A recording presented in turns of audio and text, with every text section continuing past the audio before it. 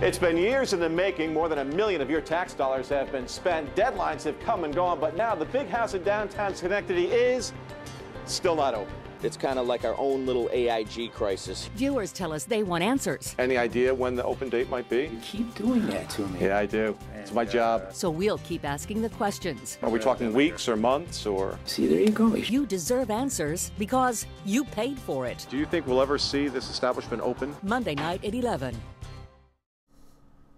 Here are key points. Prepare to ask questions that hold officials accountable.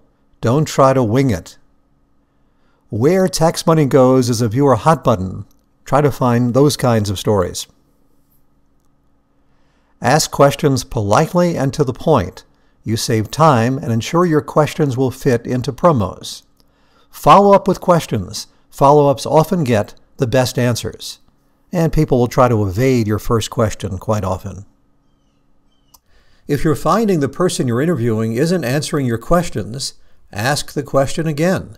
And if they're still not answering it, be direct. Remember, you're the voice of the viewer. Say, I don't think that's answering the question viewers have in their minds. Why don't you want to answer it? Now, that's a last resort, but it's worth using because many officials and many politicians know how to manage the media, and you want to manage the interview and not be managed by the politician or official.